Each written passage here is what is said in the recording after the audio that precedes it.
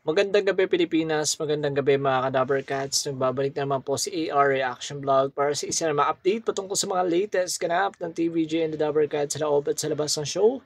Pero bago natin simulan, kung pa nakasubscribe sa channel ko, isubscribe mo na yan, hit mo na rin yung bell button para ma-notify ka sa mga susunod pa gagawin mga daily videos. Eto na, simulan na po natin. First topic natin for today guys, nagkaroon po ng pagdalaw ang isa sa mga apo ni Bossing Big Soto sa kanilang mismong tahanan. So, si Miss Christine Hermosa and si Oyo Boy Soto kasama ng pang-anim na baby po nila ay dumalaw mismo sa bahay ni Bossing Big Soto at ni Pauline Luna.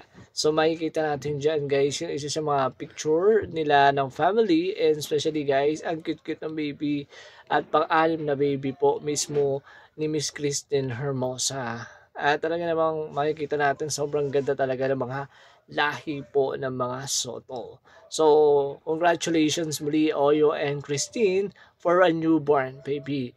And ito pa isa sa mga papakita natin. Nagalit po ang DRPS dahil naglabas na sila ng official statement at pahayag base doon sa reliable fact checker ng DRPS tungkol sa pagkalat ng mga espekulasyon na pagbalik ng Production Tape Incorporated sa GMA7. So ito lang naman ay sinagot na po mismo nila.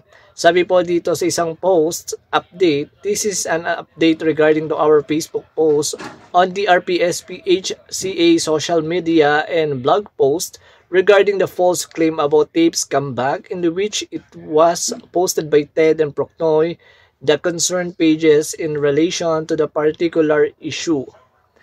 Last September 2, 2024, we posted on Facebook post regarding a fact check involving tapes comeback that was published on a Facebook page named Procnoy and Ted, Tape Everyday Defenders, in which we had received reports regarding this from the names of John Vincent Cabungal and LD Villaflor. In that particular post, Ted claimed that tape will return after a accurate overhaul While Proctoy also claimed that TAPE will have their own talent agency known as TAPE Artist Management Agency. Nag-iimbento pa sila ng mga agency-agency. No? So, magtatayo yata itong si Ted tsaka si Proctoy ng agency para po sa kukuhanin daw nilang artista. Sabi dito, original the claim was deemed to be a false claim. However, we have seen several news from a reliable source from Manila Standard. See comment section for the links that tape will return after corporate restruct restructuring and they are planning to resume their production of their content via on-air and online platforms after a briefing check on the news article from Manila Standard. The return of tape actually true and confirmed There is no such date that they will return back to producing their content. But if you have seen any claims that, that there is a date that they will return on the air, this is false and should therefore only trust the official social media accounts update regarding to these announcements. Dapat naman talaga mas paniwalaan natin yung mismong social media po ng Tape Nat, kay Ted at kay Procnoy.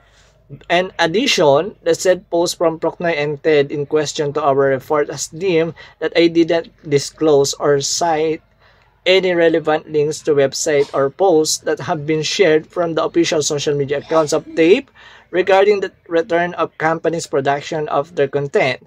And it was published days and it was published days prior to the time when the official source are published.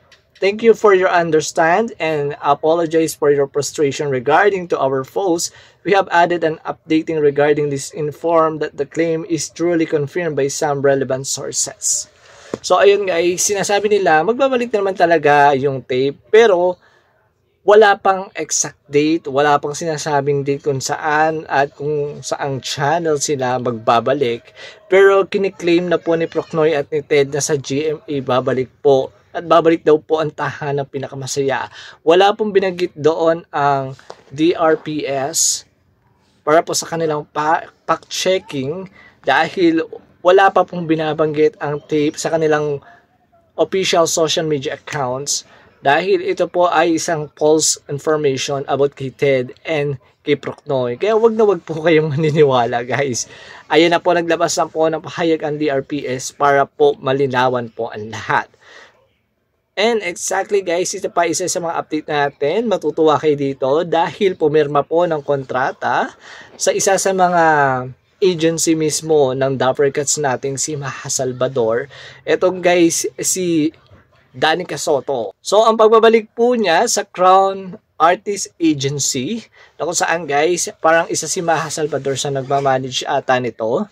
And especially guys, uh, dito rin nakapirma si Miles Ocampo. So, kumbaga guys, uh, parang si Maha din po yung isa sa mga magmamanage din yata kay Danica Soto. And, and yan makikita natin guys, we welcome at official ng winelcome po ng Crown Artist Agency itong si Danica Soto, ang isa sa mga anak po ni Big Soto. Congratulations and welcome to the Crown Danica Pinris at official na pong part po siya ng family ng Crown artist management. And especially guys, ang ilan po sa mga update patungkol sa mga magaganap po sa GB5, ang qualifying round ng GB5 tomorrow, Saturday guys, kasabay po yan ng Bulaga Olympics at kasabay din po mismo ng ilang pang surprises sa mga Dabber Cats bukas ng Sabado episode ng Itbulaga.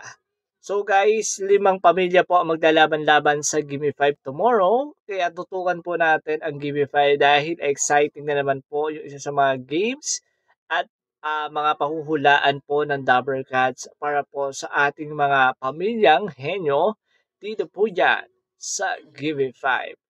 And then the same time guys. Kung may katanungan po kayo at any suggestion and comments, para ma-shoutout po natin kayo sa mga susunod pa nating mga update patungkol sa mga Dabber Cats, i-comment nyo lang po dyan. So, ibabalik natin yung dati nating ginagawa na shoutout and babasahin ko yung mga comments po ninyo para po talagang mas sumigla po yung isa sa mga pakikinig po ninyo mismo at sa shoutout natin ang inyong mga pangalan dito po sa ating mga daily updates araw-araw po para po sa mga Dabber Cats natin sa Itbulaga. Especially guys, sa lahat po ng tumututok po kay AR Reaction Vlog, maraming maraming maraming salamat po sa inyong walang sawang pagsuporta. Naway sana wag po kayong magbago at wag po kayong aalis, manatili po kayo nandyan. Ibe-bless tayo na ating uh, poong kapal at lahat po na nakikinig po sa ating mga daily updates. Maraming maraming salamat sa inyong lahat. At sa pagsuporta, hindi lang po sa ating YouTube channel, pati na rin po sa Itbulaga. Hanggang dito na lamang po isang update natin ngayong gabi and thank you guys sa panonood and see you for my next update video. Bye guys!